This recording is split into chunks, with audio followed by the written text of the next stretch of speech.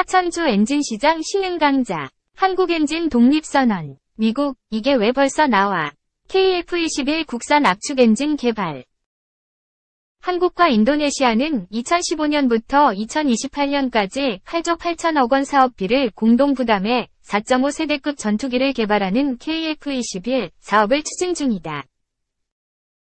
인도네시아는 2016년 1월 전체 사업비의 20%인 1조 7천억 원을 투자하고 시제기 1대와 기술 자료를 이전받은 뒤 차세대 전투기 48대를 인도네시아에서 현지 생산하기로 했다. 그러나 2019년 1월까지 2272억 원만 납부하고 경제 사정을 이유로 4년 가까이 분담금을 납부하지 않다가 지난해 11월 94억 원, 올해 2월 약 417억 원만 추가 납부했다. 원래 계획대로라면 지금까지 1조 2694억 원 정도를 지급해야 했다. 하지만 인도네시아는 2783억 원만 납부한 채 9911억 원을 연체 중이다. 최경호 국방부 대변인은 이날 국방부 정례 브리핑에서 관련 질문을 받고 이번 방사청장 출장에서 KF-21 공동개발 정상화를 위해 인니 정부와 분담금 납부 방안에 대해 논의할 예정이라며 세부적인 사항들은 인니 정부와의 상대국 관계들을 고려해 답변이 제한된다 고 말했다. 우리 전투기 보람의 KF-21 시제 1호 기가 처음으로 초음속 비행에 성공했다. 방위사업청은 1월 17일 KF-21 이후 3시 15분 첫 초음속 비행을 성공적으로 수행했다 고 발표했다. KF-21 CJ1호기는 이날 오후 2시 58분 경남 사천 공군 제3훈련비행단에서 16. 남해 상공에서 약 4만 푸티, 12.191km 고도를 비행하며 음속 마하 1.0 약 시속 1224km를 돌파했다. 한국항공우주산업 소속 이동규 수석은 첫 초음속 비행에서 조종간을 잡았다. KF-21 CJ1호기는 이륙 후 56분간 비행하고 오후 3시 54분에 착륙했다. KF-21은 2022년 7월 첫 비행 이후 지금까지 80여 차례 비행을 통해 고도속도 같은 비행 영역을 확장했고 이날 처음으로 초음속 비행에 성공했다. 우리 기술로 개발한 항공기의 음속 돌파는 처음이다. 앞서 2003년 음속을 돌파한 국산 초음속 고등훈련기 T-50 골든이글은 미국과 기술 협력으로 개발됐다. KF-21은 향후 음속 영역에서 고도 속도를 더 높여가면서 초음속 구간에서의 비행 안정성을 점검 검증하고 체계 개발에 반영할 계획이다. 이종석 국방부 장관은 수많은 이들의 헌신과 노고 덕에 드디어 국내 기술로 개발한 최초의 초음속 항공기를 보유하는 역사적인 성과를 거둘 수 있게 됐다. 며 공군 및 방위사업청 관계자와 한국항공우주산업 소속의 개발진 및 시험비행 조종사 등 그동안 애써준 모든 사람에게 진심 어린 감사의 인사를 전한다 고 말했다. 또 우리 군은 초음속 비행 성공을 통해 과학기술 강군 건설의 토대를 더 공고히 했을 뿐 아니라 4대 방산 수출국으로 한 걸음 더 나아가는 쾌거를 거둘 수 있게 됐다 고 평가했다. KF-21은 국산 초음속 전투기로 노후 전투기인 F4와 F5를 대체하기 위해 2015년부터 개발이 시작된 초대형 국책 사업의 결과물이다. 2028년까지 약 8조 원을 투입해 기반 전력으로 활용할 4.5 세대급 전투기를 개발한다. KF-21은 한국형 전투기의 고유 명칭으로 일시 한반도를 수호할 국산 전투기라는 뜻을 담고 있다. KF-21은 세계에서 8번째로 개발한 초음속 전투기다. KF-21은 최고 속도 시속 2200km로 음속 1.8배에 달하며 7.7톤의 무장을 탑재할 수 있다. 여기에 최첨단 AESA 레이더로 목표물을 실시간 추적할 수 있으며 적 미사일 등을 신속히 포착하는 적외선 추적 장치 등이 탑재되어 있다.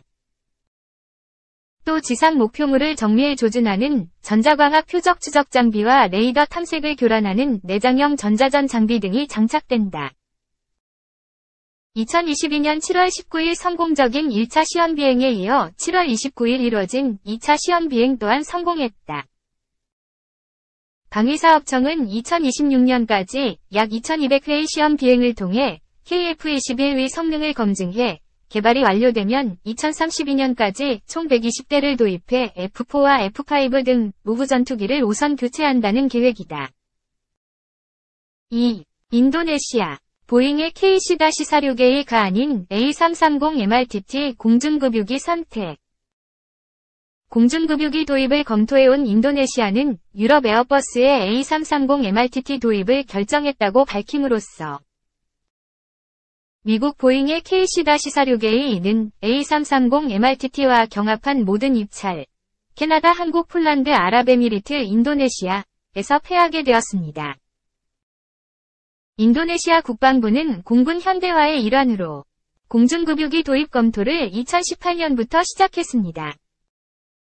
2021년부터 인도네시아 국방부는 보잉 KC-46A, 에어버스 A330 MRTT, 러시아 일루신 IL-78을 검토하고 있다고 밝혔으나 향후 도입할 항공전력, 라팔, F-15EX, KF-21, 과의, 호환성을 고려할 때 미 보잉의 KC-46A와 유럽 에어버스의 A330 MRTT 이 최종 후보에 올랐고 인도네시아 국방부는 지난 9월 5일에 자금 조달 옵션과 기술 이전 가능성을 고려해 A330 MRTT 도입을 결정했다고 밝혔습니다.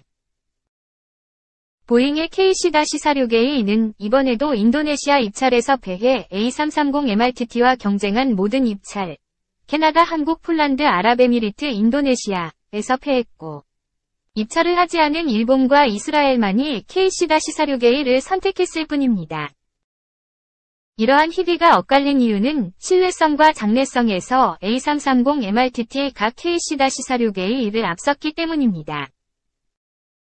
지금까지 A330 MRTT를 도입한 나라에서 아직까지 치명적인 결함이 발견되지 않았고 도입국에서의 평가도 우수합니다.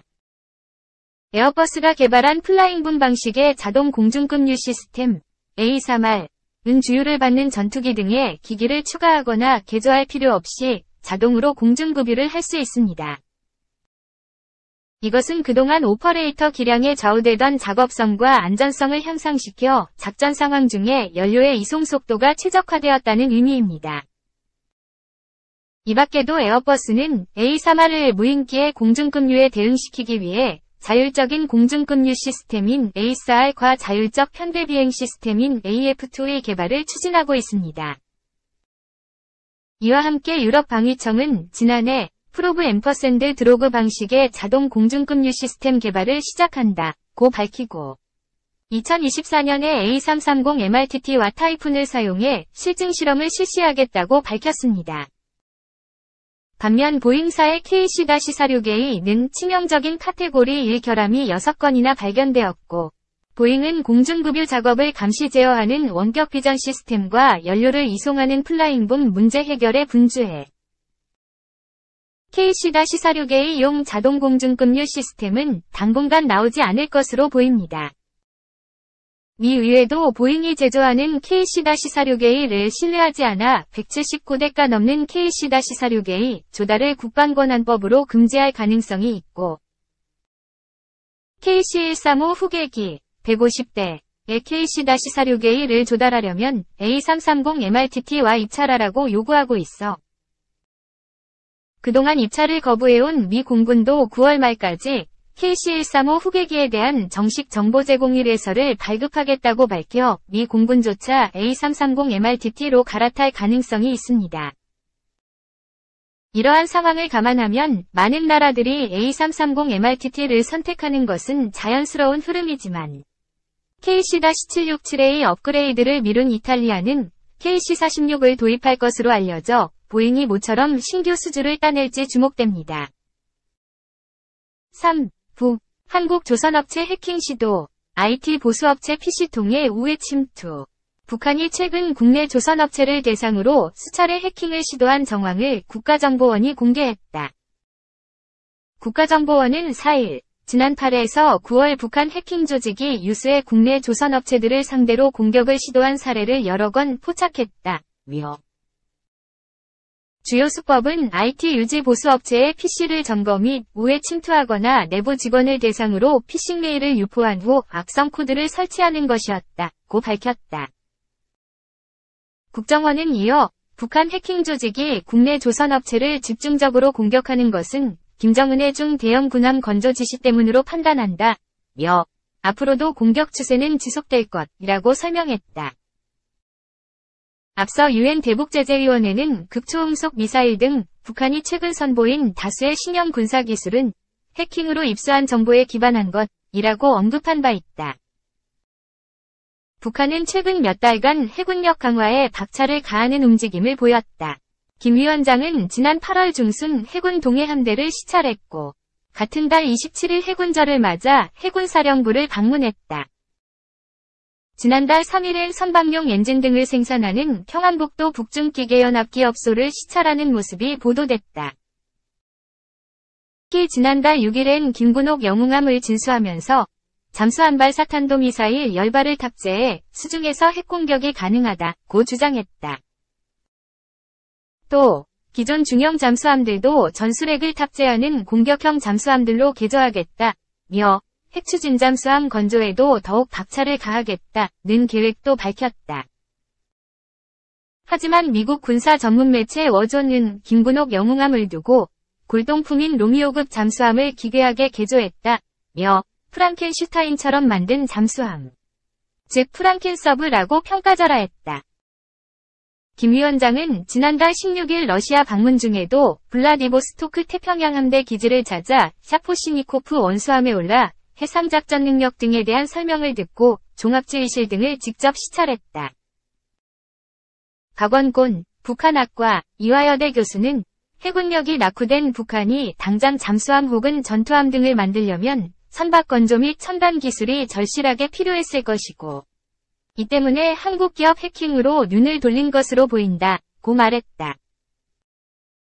한편 지난달 26에서 27일 최고인민회의를 열어 핵무력 고도화 방침을 헌법에 명시한 북한은 지난달 30일 최선희 외무상을 시작으로 외무성 원자력공업성 국방성 관계자들이 잇따라 담화를 쏟아내며 정당성을 주장하고 있다. 4일에도 국방성 대변인은 조선중앙통신을 통해 발표한 담화에서 미국이 2023 대량 살상무기 대응 전략에서 북한을 지속적인 위협으로 명시한 사실을 거론하며 또 하나의 엄중한 군사 정치적 도발이라고 반발했다. 정대진 원주 한라대 교수는 북한이 최근 담화를 통해 미국의 군사적인 위협에 맞서 자신들의 핵보유와 위성 발사가 정당한 주권국가의 권리라고 주장하고 있는데 10월로 예고한